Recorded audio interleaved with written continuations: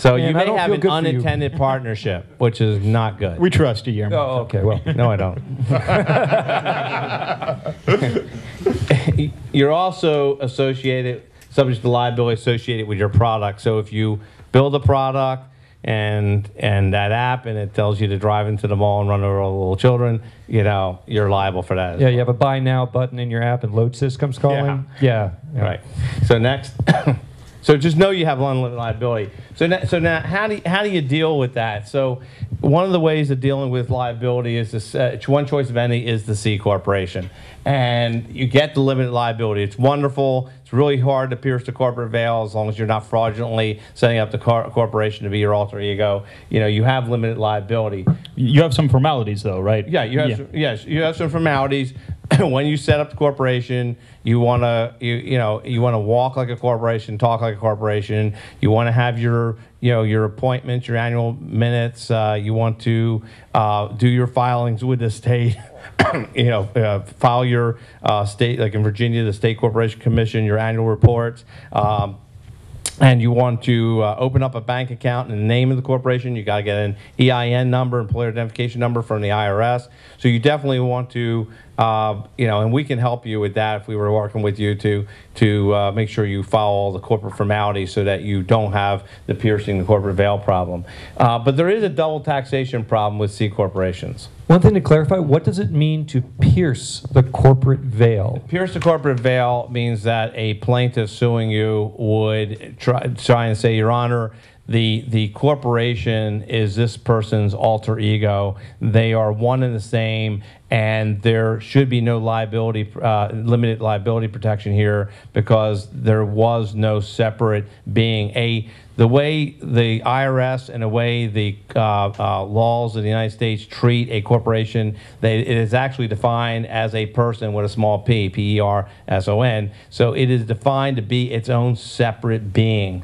Uh, and that's why, like Sanjay said, respecting the corporate formalities uh, gives more assurance that it makes it far more far more difficult for a plaintiff to say there really was no corporation here. It's an alter ego of this individual, and this individual should be personally liable. So, in other words, when you have partners in a corporation, you want to make certain that everybody follows the rules and the paperwork carefully so that you don't lose your house when I make a mistake. Exactly. Right. Exactly. I still don't trust you. Next. But you have the double taxation problem. Now, if this slide doesn't make all of you go out and vote Republican, I don't know what Oh, will. oh, oh, oh. Sanjay from the West Coast here. Yeah. Cor- corporate tax rate above 75K is approximately 35%. Personal tax rate, uh, once the certain tax cuts, I won't say the word, uh, expire, 39.6. Total tax on income uh, is distributed as dividends. So $100 of income distributed from the company to the shareholder becomes $39.26 because it's taxed first at the corporate level, then it's taxed again at the shareholder level. Now, again, this is not a problem if you are not you know, this does not impact, for example, when you take a salary, if you're taking a two hundred or three hundred thousand dollar year salary from your C corporation, you have a technology company, and you're paying yourself a nice hefty salary, and you give the, the company's going like gangbusters, you give yourself a half million dollar bonus. That's all uh, not taxed at the corporate level because the corporation, if it pays you three hundred thousand, has six hundred thousand dollars in income. $300,000 expense right there, so it gets to deduct that, and it doesn't pay taxes on that. It, it's an expense item, so it lowers its taxable uh, taxable income by that amount. Uh, it, where you get into trouble is when the co- company is paying out dividends. So most technology companies avoid the double taxation problem, if they're a C corporation, by merely not distributing dividends. They just don't declare dividends. Most venture-backed companies never uh, pay dividends. Even if you're in your documents, in your Series A documents, the uh, uh, the the preferred stock will say an eight percent uh, dividend. uh, if and when paid, if declared and, and when paid. So, you know, I have yet in all my 20 some years of doing venture capital deals, have yet to see a, a, a technology company pre IPO uh, ever distribute any dividends. So you just don't do it. So why put this line up? I mean, I, I agree. Well, because if we didn't, we, we just need to we just need to say like you know because there, believe it or not, there are people who then get shareholders who do want dividends. So I ha- I do have clients who have had uncles, aunts, or certain uh, private investors give them money for their business and say, look, I'm not going to sit around waiting for you to sell this company. In a venture cap back company you know, there's going to be an exit. The VCs don't give you money for a lifestyle company or something you're going to run for 10, 15, 20 years. They want their money back in a maximum three to five years. They want to get out. So either through an IPO or through a sale of the company to someone else. Um, so they don't want any dividends. But in a lifestyle business that you're running, and if you have some other, uh, some passive investors, they may say, look, so I want to start getting some dividends so I can take some money out of this. The certificate's nice on the, on the wall there, but I'd like some cash. Uh, next slide. Yeah, Oh, Oh. We have a question here. Could you just buy back some of their stock instead of issuing a dividend? Would that do the same thing? or- Well, then you're talking about corporate redemption, and that's a, a whole nother animal. But I mean, it, you know, it's certainly if, if you know if they accrue dividends, um, usually what happens is uh, a lot of investors when those dividends accrue and they aren't paid, like with the VC money, they uh, it automatically accrues whether you're declaring it or not. Then um, they usually take that in extra stock at a time. They usually have the option uh, if they negotiate it well. They have the option that when the company goes public uh, you know, if, if there's, if they gave you a $2 million investment and then there's 500,000 in accrued but unpaid dividends, they'll actually get to convert to $2.5 million worth of, of common stock when they convert over. Uh, next.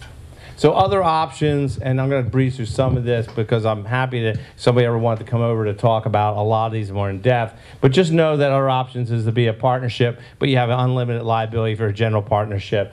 There's limited liability partnership, and um, and you know where you can have a, certain amount of limited liability.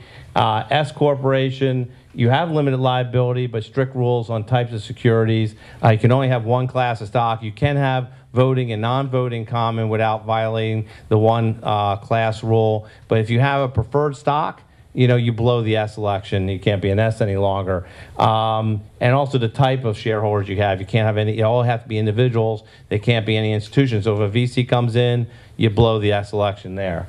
Uh, limited liability company is very popular, but uh, again, if you're going to be going public or being venture back, they're going to make you convert to a C corporation anyway. Quick question there. What is the charges per hour to go and talk about this stuff?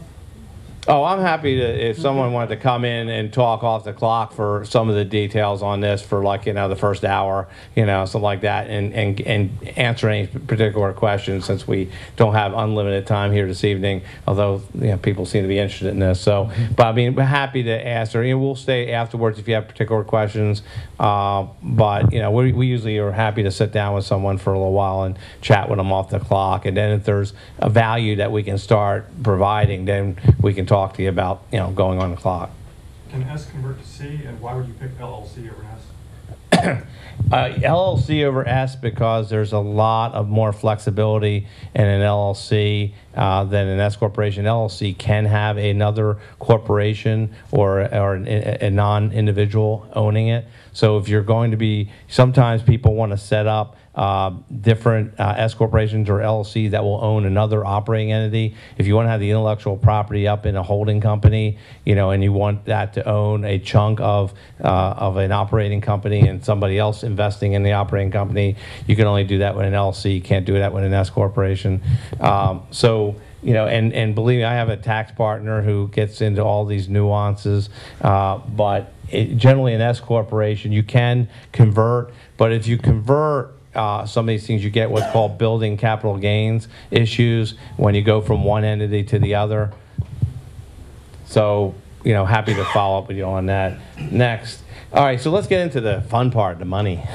um, startup or seed capital. Um, you know, there's three basic types of financing you can get other than debt. This is all equity. Uh, there, there is, uh, of course, you can go to Silicon Valley Bank or Square One Bank and uh, uh, or Comerica and get uh, financing uh, for technology companies.